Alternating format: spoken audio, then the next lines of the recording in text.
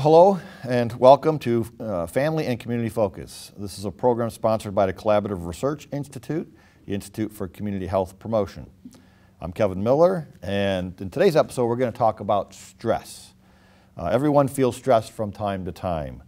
And one, one of the things I've always found interesting is that what stresses out one person doesn't necessarily stress out another person. And this begs some curious questions as to what is stress, how does your mind, body, and health interact with stress? Why does stress affect people differently? And what can be done about it? And fortunately, joining me to provide some answers and insight on the topic of the mind body interactions with stress and intertreatment is Dr. Steven Dubovsky, professor and chair of the Department of Psychi- uh, Psychiatri- Psychiatry here at the University of Buffalo. Welcome and thank you for joining me. Thanks for having me. Yeah.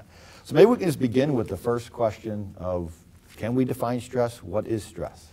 Well, in the first place, stress is normal. Without stress, life would be boring, and I mean there wouldn't be any anything happening. So uh, life is filled with stress. The question is, at what point does stress become overwhelming, and at what point are you not able to adapt to it? A, a reasonable amount of stress motivates us to do our daily activities, to deal with challenges. You take an exam in class, that's stressful. You're going to be a little bit nervous about the exam. Maybe you'll prepare better. If you're a little bit nervous, you'll be more careful in taking the exam and you'll do well. You're overwhelmingly anxious about taking an exam. It feels overwhelmingly stressful because you failed the last four exams then that stress response may interfere with your ability to study. You can't concentrate. You rush through the exam and don't uh, and don't do as well. So the question is, at what level does stress make us feel overwhelmed? And at what point do we stop coping adaptively with stress and start coping maladaptively?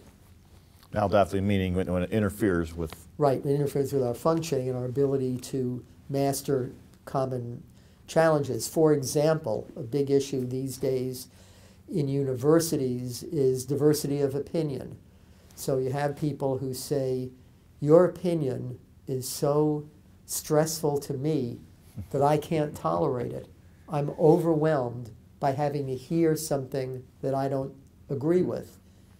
Therefore, you should stop stressing me by either shut up or go away or agree with me or I'm stressed right. out.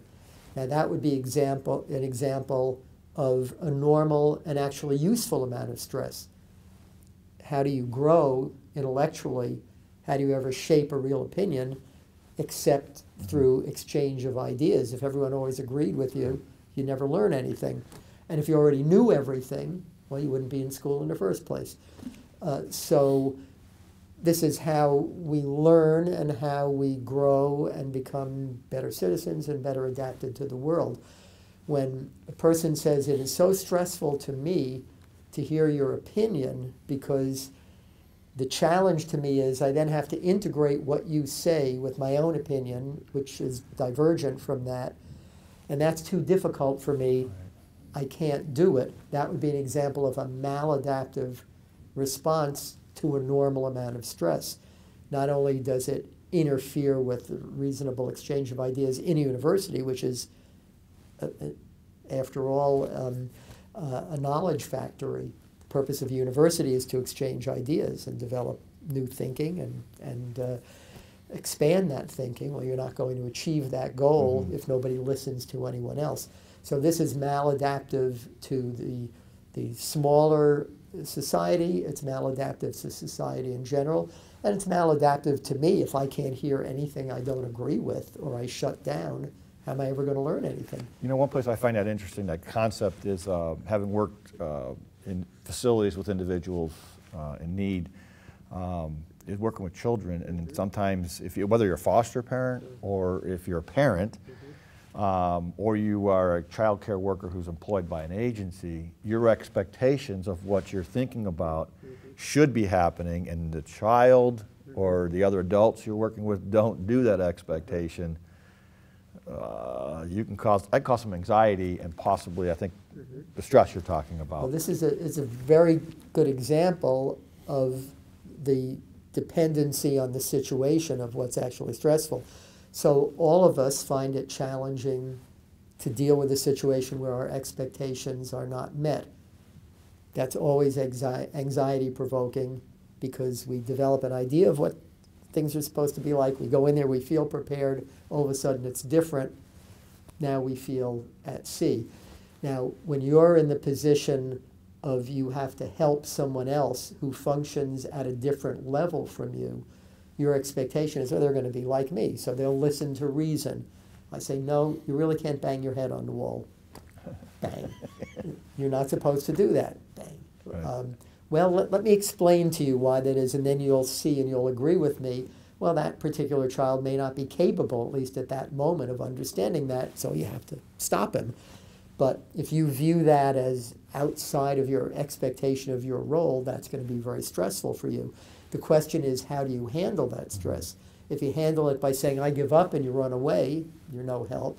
If you handle the stress by smacking the, the, your uh, charge because you, you don't know what else to do, that's not going to help either. So you have to adjust to the situation. And uh, you know, that's really what life is like most of the time. It hardly ever meets our I expectations. think anybody who's a parent or who's been around uh, has probably exhibited that, and they probably, we all could probably think back saying, well, I'd rather, I never caused my parents stress. Sure, Well, right, That's probably not an accurate statement. You know that line from the uh, Fantasticks, why can't they be like we were, perfect in every way? so we were all perfect as kids. But nowadays, the, in my day, it was never like this. Right. It was like this in everyone's day because it's a change of perspective for people, and that's stressful. And as you're saying, as new information, new knowledge develops, Right. in some cases, our technology and various aspects of things that can contribute to that. I'm driving down the street. I see the light's green for me. My expectation is nobody's going to run the red light on the other side and run into me. So I just drive down the street and I don't look. And one day someone runs a light and smashes into me. That's not particularly adaptive. Instead, if I have any sense, I know that not everybody pays attention to the light, so I'll, I'll look. Right. I don't necessarily stop in the middle of the intersection, but I'll look. If I see somebody zooming, maybe I'll slow down and I'm less likely to get hit. So in, in everyday life, we form expectations based on our own prejudgments and our own past experience. And a lot of times those expectations are not met. It's stressful. The question is, how do we adapt to it? I think uh, the other thing is, well, thing's coming to my mind is that if you're the person in power, if you, or if you're the person that's caretaker or whatever, uh, the ability to set expectations can help reduce stress because Uh-huh. at least you can get them out there versus somebody just behaves a certain way because they expected to behave that way. Uh-huh. You didn't match up with your right. expectations and That's, that's very true. conflict. Yeah, that's very true. Um, so how does the mind and body react to and perhaps play a role in influencing stress? Well, our response to stress is a response to danger. What stress is, is the perception of something, as I said, that doesn't meet our expectations and that produces the possibility of danger. Because if I know everything that's going to happen, I'm in no danger. I can predict every conceivable contingency. So whenever things don't match, that's stress. Stress turns on a system in our body called fight flight. And what this does is prepare us to interact with something that's dangerous or to run away from it. We have another type of stress response called conservation withdrawal. And what that involves is simply slowing everything down and waiting till things get better. An example of this would be hibernation. So, a bear in the winter can't find food. You can either migrate 2,000 miles or go to sleep for a few months until it stops snowing and it warms up. Uh, and these are the three ways we have of dealing with stress. These are programmed into our nervous systems. The fight flight part, what this does is there is a part of um, the deep part of our brain called the locus ceruleus, and what this part of the brain does is recognizes danger and responds to it. It turns on that fight flight response if it makes a judgment that this, uh, this involves some element of danger. And if you just think about yourself driving down the road on an icy road, you, you skid a little bit, your heart kind of beats fast, you feel kind of shaky, your mouth feels a little dry. These are physical responses to, um, to the perception of danger. When you either interact with the danger and overcome it, or you escape from it, or you define it as no longer dangerous, normally that stress, that response, that fight flight response, will turn itself off and the physiology of your body will return to normal.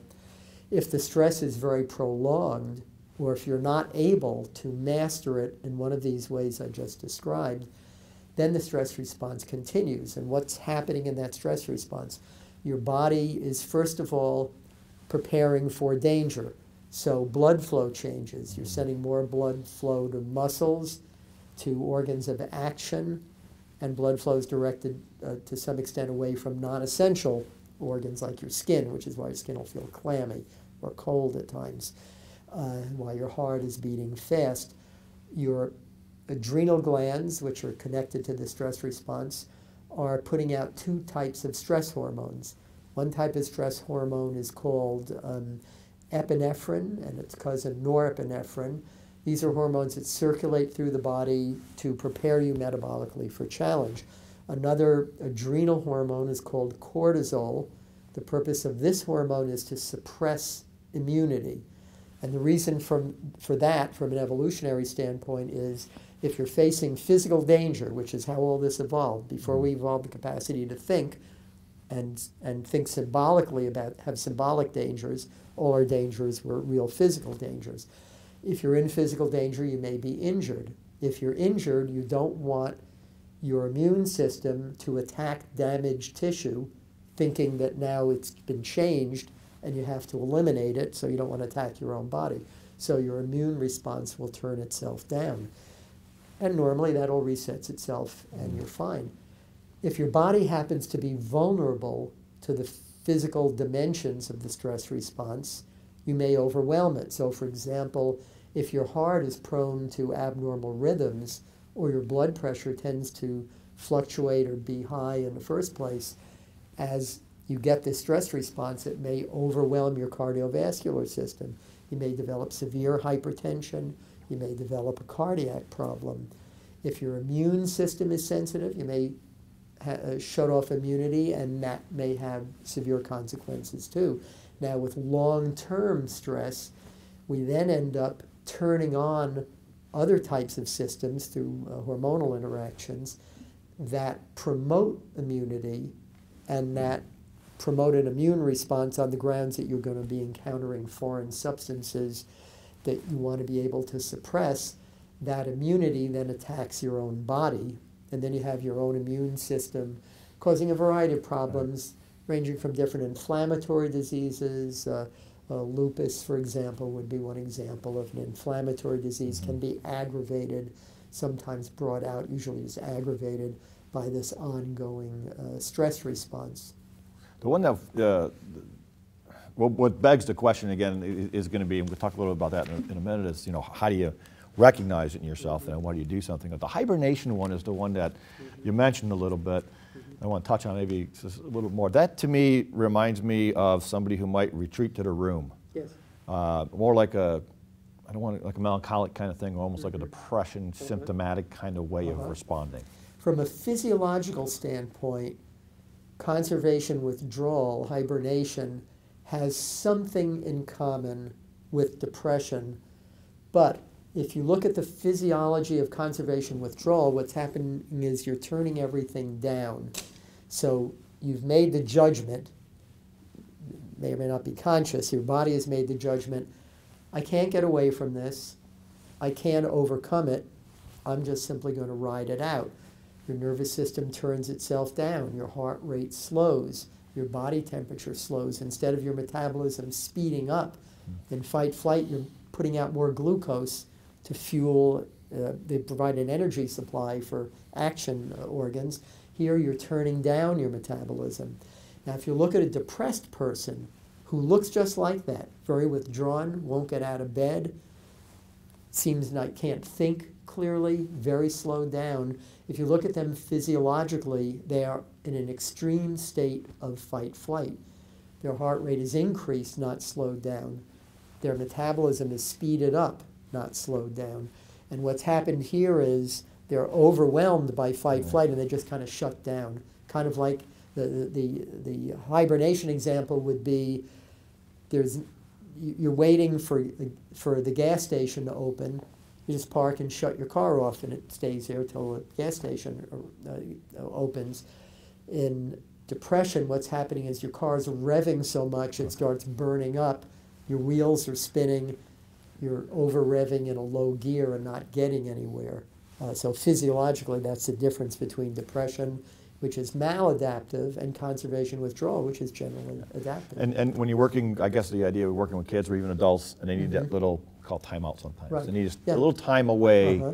to be able to recoup, re- Exactly. you know, and all that kind, of, it's a good thing. There are people who get very overwhelmed in particular situations, and a lot of times we feel obligated to resolve it right there. Right. And as you point out, a lot of people just say, why don't you take a break? This works with your kids.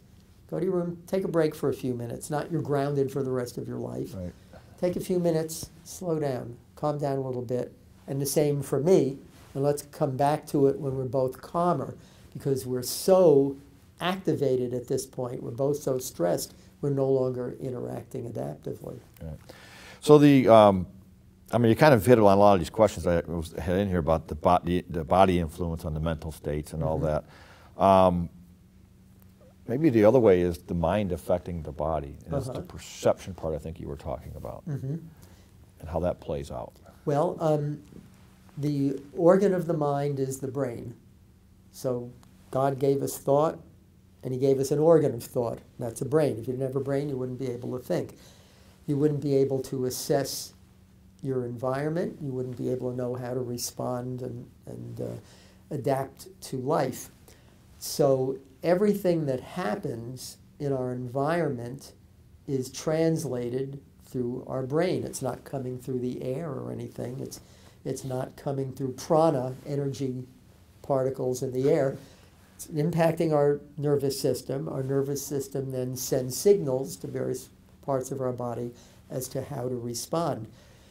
Because we have the capacity to remember things, to think and to think symbolically, we can interpret a lot of things as dangers that might or might not really be dangerous, or there might be a real danger that we don't shut off necessarily.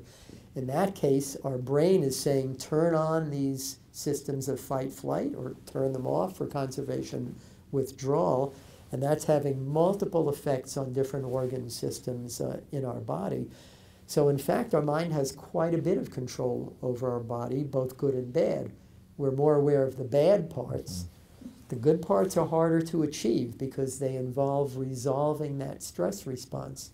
To use the example I said before, if your, your idea of dealing with stress is make the world stop being stressful, however you've defined that, you're going to have a mighty tough time shutting off that physiology of fight flight.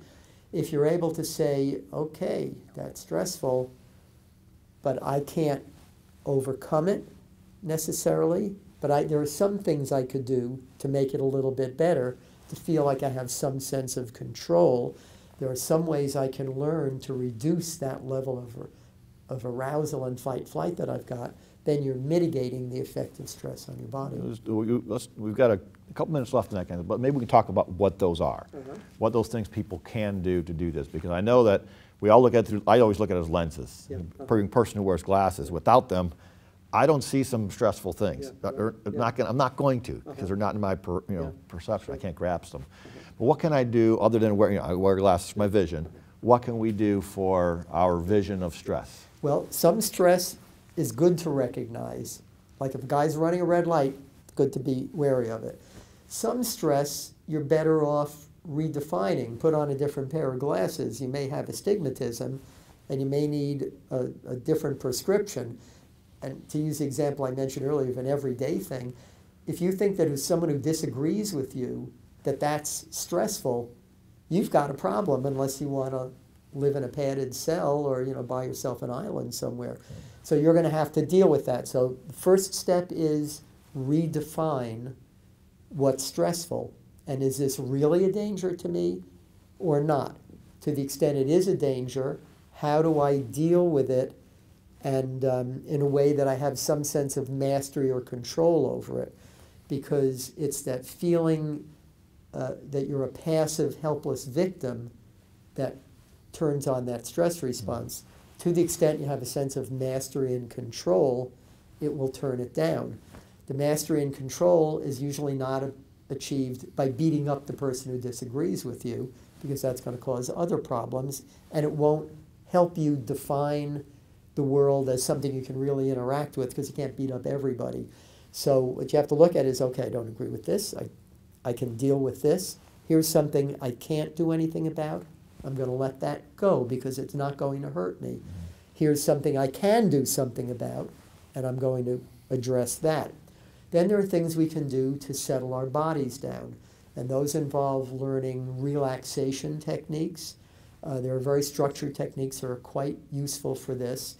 One of the newer techniques is very helpful in taking your mind off of things that feel overwhelming and particularly that orient your thinking toward internally generated stress.